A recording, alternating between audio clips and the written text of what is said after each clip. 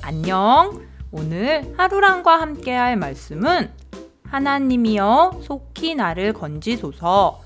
여호와여 속히 나를 도우소서. 시편 70편 1절 말씀. 아멘. 한 번 더. 하나님이여 속히 나를 건지소서. 여호와여 속히 나를 도우소서. 시편 70편 1절 말씀. 아멘 친구들 속상할 때 힘들 때. 언제나 하나님께 기도해봐. 하나님께서 친구들의 기도를 귀 기울여 들어주실 거야. 그럼 내일 또 만나. 안녕